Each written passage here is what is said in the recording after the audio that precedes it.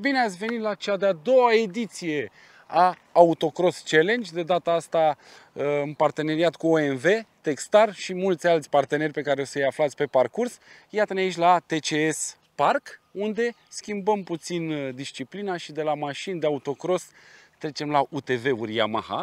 O să vă prezint și regulile și materialul de concurs. Nu vă spun invitații de anul ăsta. Bineînțeles Cabral o să fie pentru că este campionul antitră care trebuie să-și apere trofeul care de anul ăsta vom avea trofeu, că anul trecut n-am avut, că a fost prima ediție.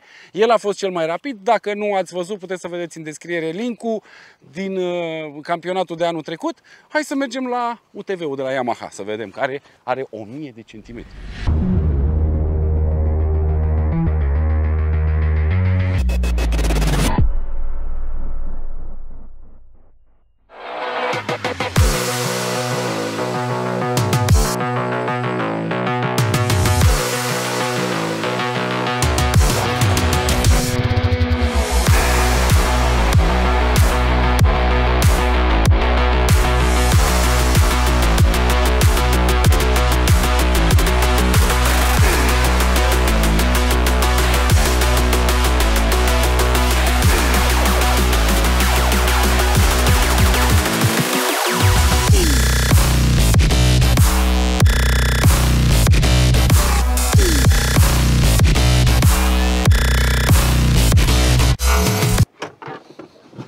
Am uitat câți cai are, bă, frate. 130?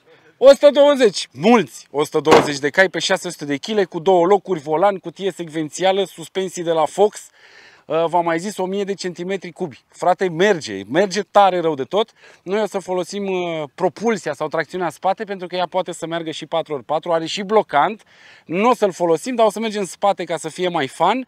O să avem și cane, o să avem joker, o să avem uh, tot felul de probe de departajare pentru concurenții noștri, că a fost prea ușor pentru Cabral anul trecut și am zis să facem mai greu anul ăsta. Facem și un tur de probă să vedem cum arată și de la volan și de afară. Da, haideți să facem o tură. Eu m-am pus aici în locul meu, că aici stau. Mă bucur că am de ce să mă țin acum. Centurile sunt foarte bine uh, prinse. Mergem cu Teo, care cunoaște un pic traseul, că e de aici, de al casei. Să facem, să facem o experiență, să vedem uh, ce o să simt eu alături de băieții ăștia care o să vină să facă experiență aici și o să le pun întrebări și o să le arăt tot felul de lucruri. Putem să mergem. V-am zis, este echipată cu un motor de 1000 de centimetri cubi, 120 de cai, cutie secvențială, uh, merge tare. Uh, e și asta o variantă de încercat, puteți să veniți aici la TCS.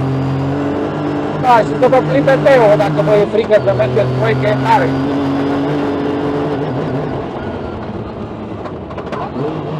Avem parbriz, de când am pus ochelarii ăștia. Aoleu, ne răspundem. Aoleu! Da, o să fie fain. E camera pe tine doar. Așa a vrut ea. Să fii pe tine.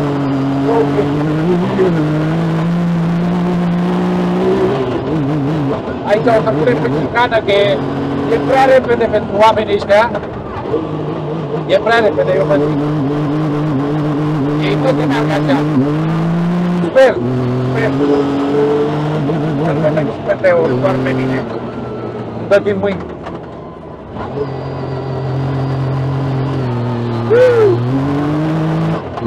Poate și pe poartă de aici la TCS.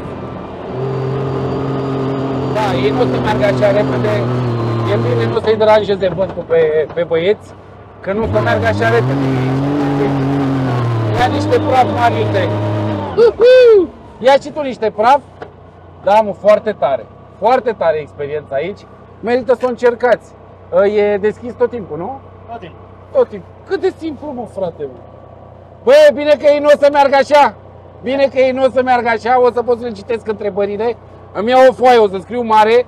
Mare atenție, cuvântul la ochi. Și rest, super tare, e super distractiv. Putem să ne mutăm aici. Mișto.